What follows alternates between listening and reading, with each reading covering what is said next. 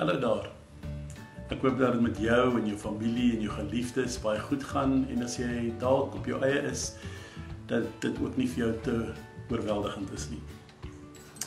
Blykbaar is ons huise die beste en die veiligste plek waar ons op die oomblik onsself kan bevind.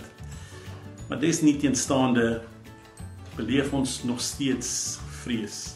Vrees wat opgewek word deur boodskappe en die nuus en goedbedoelende mense wat soms vrees by ons aanwakker. Die woord van die Here het vir ons goeie raad en ek lees ons graag uit Spreuke 18:10 en in die ou vertaling sê dit die volgende: Die naam van die Here is 'n sterk toring. Die regverdige hardloop daarin en word beskud. So vandag wil ek jou aanmoedig om die naam van Jesus te gebruik in elke situasie en veral wanneer dit lyk asof vrees jou wil oorweldig, asof die omstandighede en die onsekerheid van die toekoms jou wil oorweldig.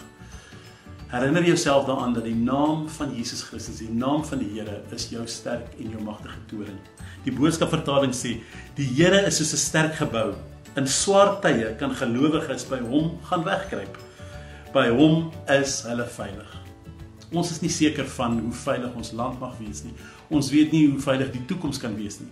Maar een ding kan ek vir jou verseker, by Jesus Christus is jy rus en is daar vrede en is daar absolute veiligheid. Die naam van die Here is 'n sterk toring. Die regverdige hardloop daarin en word beskud. Mag die Here jou ryklik seën.